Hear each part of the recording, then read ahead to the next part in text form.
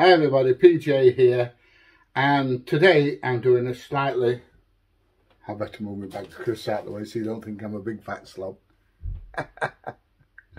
today I'm doing a slightly different video. Um, I've just been to see a gentleman who's 92 years old and he's been ripped off by a builder and he wanted to know if I would put a video on the internet for him, obviously on YouTube. So uh, I went round and took my tripod and uh, he sat there and did really, really well. Spoke very clearly and told, uh, told me exactly what had happened. And here we go. I'm going to play the video now and let you have a look at it. Hello, my name is George. I'm 92 years old and I live on my own. Uh, but that's not what I wanted to, to tell you. I want to tell you how I was scammed out of £800 by a builder. Uh, first of all, my house needs some uh, more tile, new tiles and pointing. I know that, it still does. So I've been saving up and I went onto Google and this man came back to me the same day, same evening, came round to see me. I agreed to let him do some of the pointing and put some new guttering up. Yeah, he did. He came round a few days later. I don't know how much pointing he did, but the uh, guttering, when it rains, it pours out. It's, it's rubbish. Anyway, coming to the point, a few days later, March the, March the 12th actually, he came to my house and told me, if you want me to do the rest of the uh, roof, I need scaffolding. And if you give me £800, I will hire scaffolding, then get on with the uh, pointing and making the roof good. Foolishly, stupidly, I trusted him. I gave him £800 cash, which I've been saving up, especially for the job.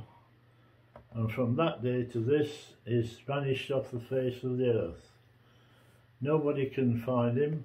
The police have looked for him. Uh, citizens have looked for him and uh, trading standards. You can find no trace of him at all. Right, his name is Andy Wilson and the company is AMD Roof Repairers. Stanton House, Grange Road, Newark-on-Trent, Nottinghamshire and uh, that's he's just vanished. I can't contact him. Uh, whether he's just blocked my phone or everybody else's, but I said the police tried to contact him when I reported it, but not nothing's happened. Can't see him. So uh, anyway, the, the, roof still wants doing. So next time the uh, person I employ I'm going to make damn sure that he's qualified and I know where he is and all about him. Right, anyway, thank you for watching. Uh, just be careful. If you want any building doing, don't go to these. Don't go to M and D. It's, uh, you'll probably get ripped off like I did. Thank you for watching. Right, so that's what he's got to say.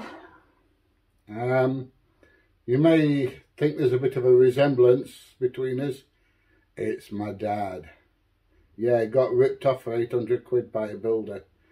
And uh, we're not very happy at all. Now this person that we're talking about, he's got a registered office in Newark, but we believe that he lives in Retford.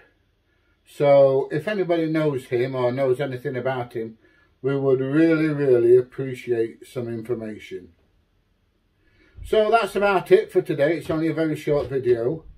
Um, but uh, I don't care if it's my dad or not. Somebody of that age who've saved the money to have the house uh, improved because there's obviously something wrong. doesn't need ripping off by some fly-by-night that's taken 800 quid off them. So uh, anyway, if you've enjoyed this video, please give it a thumbs up, please share, please subscribe, and uh, hopefully, oh, I'll leave my email address below. So if you get any information on this, uh, this, I'm not going to call him a gentleman, this undesirable, please let me know and you can email me below. Okay, thanks everybody, and I'll see you all soon in my next video when I'm out and about. Bye.